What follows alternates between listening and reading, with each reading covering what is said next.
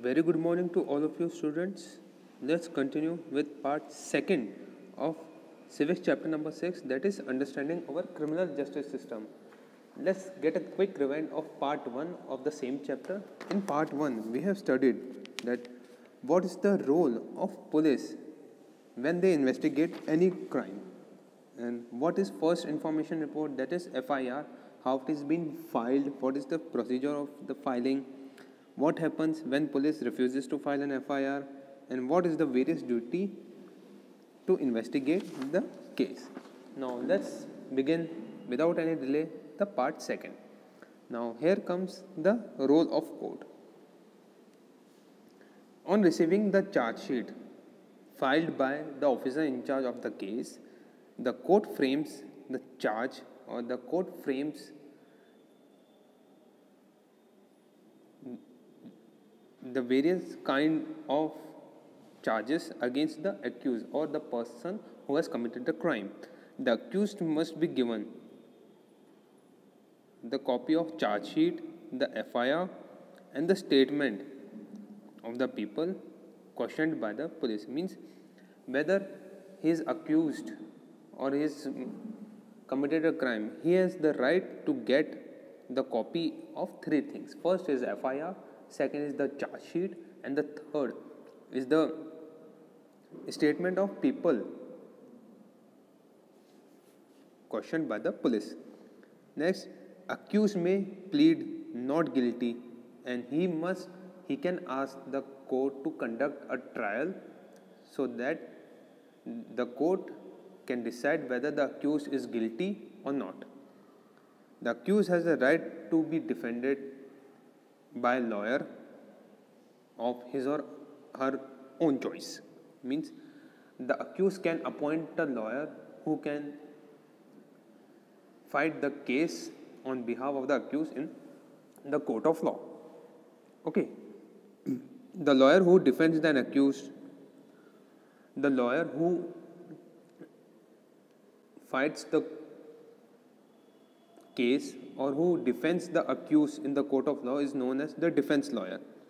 And if the accused is too poor or he cannot afford to hire a lawyer, then the court of law has the duty under the section of Article 39A of the Constitution in which the court can appoint the lawyer who is paid by the government to fight the case of the accused. The India, the judiciary. Okay. Now, what is trial? A criminal court has the power to make inquiries, or they can, the court, sorry, the criminal court can ask the various questions in connection or which are related to the case which is brought under their notice for the trial. Now, if the case has come, now the court has to decide many things. Few are whether the investigation carried out by the police is done in a proper way or not. The court checks that whether the available evidence or the evidence which, which has been submitted in the court of law via charge sheet are sufficient enough or not or whether the evidence is being submitted or not and whether the evidence recorded by the police is are realistic or real in nature or not. Here on your screen you can see the courtroom proceedings where the judge is listening to the case and there are lawyers and people who are in the part of this proceedings. Now role is what is the role of public prosecutor? A criminal offense is regarded in, as wrong activity in public. A crime is wrong done not only against the victim means a, a crime which is committed or which has taken place is not only wrong for the victim but it is also against or it also provides negativity in the society at large. So in the court there is a public prosecutor person who represent the interest of the state in the court of law.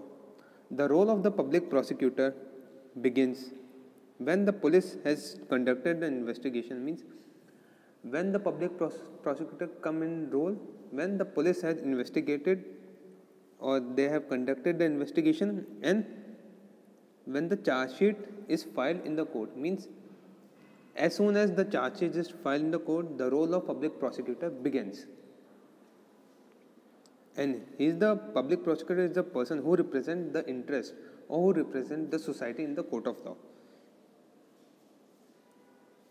The public prosecutor cannot effect the investigation or he has no direct role to play in investigation.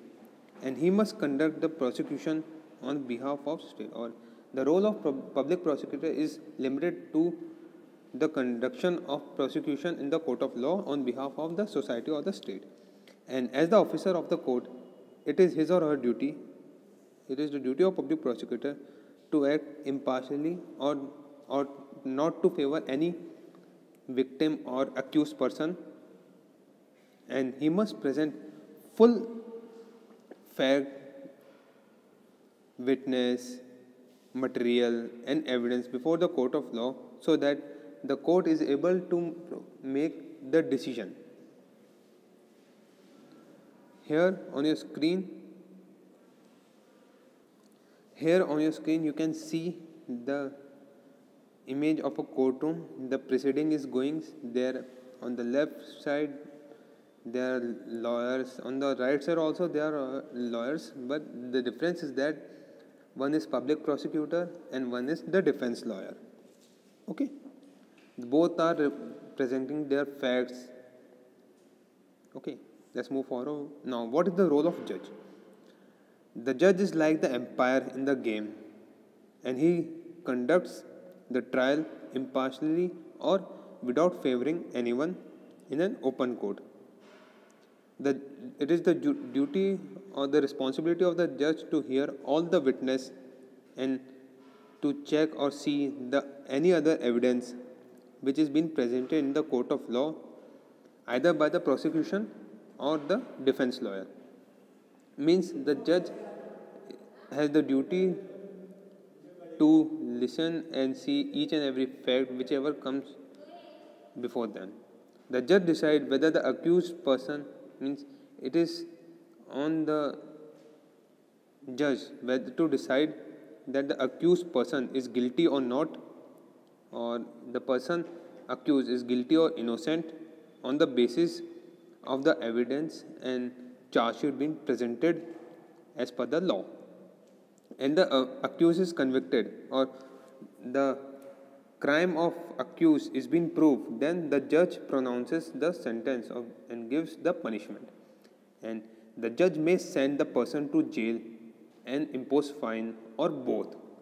Depending upon the the crime committed by him and the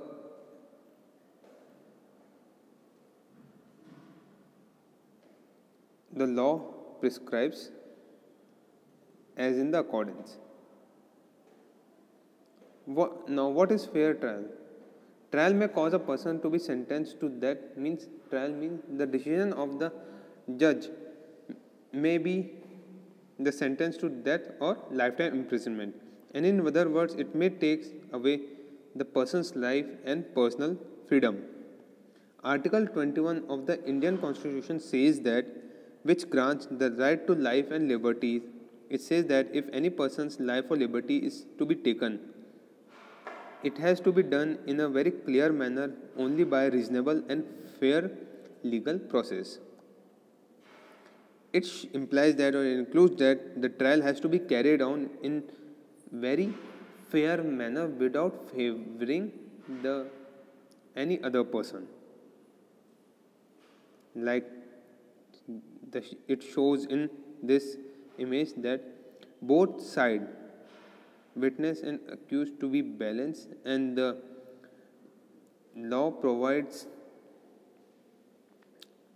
and every person is equal before the law whether he is rich or poor whether he is president of india or a local worker. A fair what includes in fair trial? The accused person or the person who has committed a crime must be given we, we have already studied that they, he must be provided with three things. Charge sheet fir been filed and the statement on behalf of which he has been accused. The trial in to be held in the court of law and the accused must be present during the trial and the accused has the right to be get defended or to be represented by any advocate or lawyer the defense lawyer is allowed to question the witness which is presented by the public prosecutor in the court of law. And the defense lawyer can also present his or her own witness. The case is decided or the decision of the case is being decided impartially or without eh, favoring any person on the basis of available evidence being submitted. Now, what constitution and law says that? The constitution and law says that or they mentions that all the person that we have discussed in the chapter should carry out their roles in the proper manner like judge magistrate police etc they must carry out their role and function very in a proper manner. It means that or says that they all need to work in a proper manner and they must ensure that every citizen irrespective of their caste class gender religious and ideological background every person must get a fair trial treatment whether on condition he get accused. The rule of law also says that everyone is equal before the law so that would not make much sense. And if every citizen uh, were not guaranteed a free trial by the constitution means the law says that every person is equal before the law whether he is rich or poor and every must every person has the right to get the fair trial. The police official who carry out the arrest or investigation or interrogation, they should wear clear visible uniform with the name tags and their designation.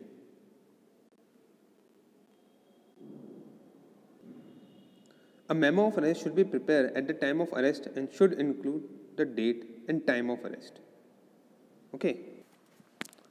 And it should be also attested by one of the witness who could be the family member of the person arrested and the arrest memo should be countersigned by the person arrested.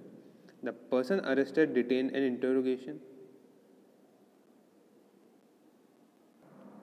When a friend or a relative lives outside of the district, the time and place of the arrest or the venue custody must be notified by the police to the relative within 8 to 12 hours of arrest. Okay, so students, here comes the end of part 2 of this chapter understanding our criminal justice system. I hope you have understood this chapter.